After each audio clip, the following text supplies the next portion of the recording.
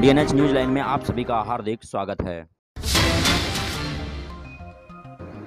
आज दादरा नगर हवेली में भारतीय जनता पार्टी के कार्यालय अटल भवन पर एक प्रेस कॉन्फ्रेंस किया गया। इस प्रेस कॉन्फ्रेंस में भारतीय जनता पार्टी के प्रदेश अध्यक्ष दीपेश भाई टंडेल ने कहा कि 25 जून 1975 को आपातकाल जो लगाया गया था, उन दिनों को आज भी भारतीय जनता पार्टी ने काले दिन के रूप में याद करते हैं। आइए आपको सुनवाते हैं उन्होंने क्या कहा। आज के प्रेस कॉन्फ्रेंस का जो विषय है, उस पर चर्चा करते हुए मैं आप सभी को बताना चाहूँगी कि जैसे कि हम सब जानते हैं कि 25 जून 1975 में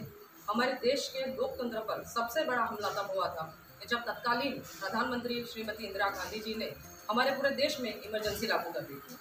25 जून की उस रात को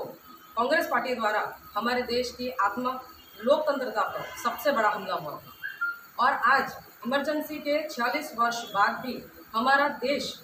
उन काली दिनों को याद करता है कि जब इमरजेंसी के दौरान हमारे देश के लोगों के मौलिक अधिकारों को निरस्त कर दिया गया यहाँ तक कि प्रेस पर भी सेंसरशिप लागू कर दी गई थी। और देश के कई ऐसे जो विपक्ष के नेता थे जिन्होंने आवाज़ उठाई इस तानाशाही के खिलाफ उन्हें भी जेल में बंद कर दिया गया था और साथ ही साथ ऐसी कई लोकतांत्रिक आवाज़ें थी जिसे दबाकर रख दिया गया था આ પરિસ્થિતિમાં દેશના ગુજરાત છે બિહાર છે મહારાષ્ટ્ર છે જેવા રાજ્યોમાં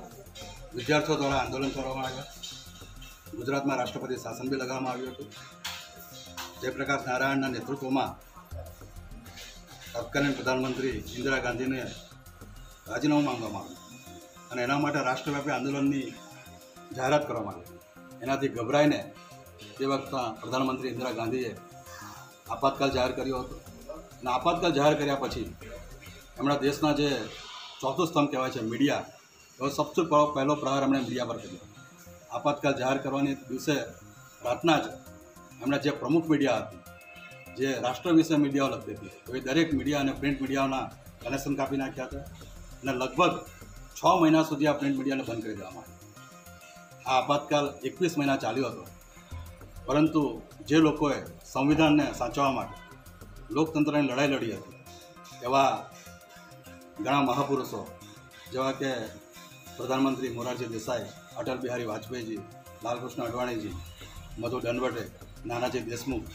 આવા ઘણા લોકોને જેલની પાછળ મૂકી દેવામાં આવ્યા એ તો ઠીક છે, પરંતુ જે રાષ્ટ્રીય પ્રિન્ટ મીડિયા હતો,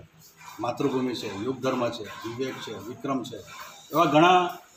પ્રિન્ટ મીડિયાના સંપાદકોને બી જેલમાં મૂકી દેવામાં લગભગ એકવીસ મહિના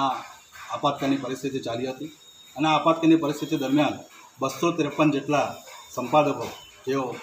પ્રમુખ સમાચારપત્ર ચલાવતા હતા, એમને જેલમાં મૂકવામાં આવ્યા હતા. મીસાનો ખોટો દુરુપયોગ કરવામાં આવ્યો હતો. અને મીસાના કાયદા હેઠળ ત્રીસ હજાર કરતાં વધુ લોકોને જેલમાં મૂકવામાં આવ્યા હતા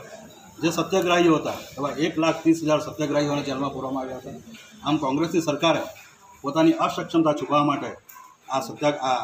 આપાતકાલ લગાવ્યો હતો અને જે લોકો લોકતંત્રની લડાઈ લડતા હતા એ દરેક સત્યાગ્રાહીઓને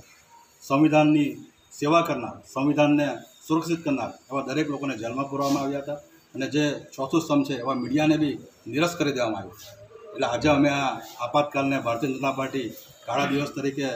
લોકોની સમક્ષ જાહેર કરે છે અને જે લોકોએ આ મિસામાં અને લોકતંત્રને બચાવવા માટે ને આપના પ્રિન્ટ મીડિયા લડાઈ લડતી હતી, એ બધા લોકતંત્રને બચાવનાર લોકોને અમે નમન કરીએ છીએ. એ લોકોને અમે સાધુવાદ આપીએ છીએ અને આ દેશ વતી અમે લોકોનો ધન્યવાદ કરીએ છીએ કે એ લોકો આ સંવિધાન સાચવા માટે પોતાની જાનની બાજુ લગાવે.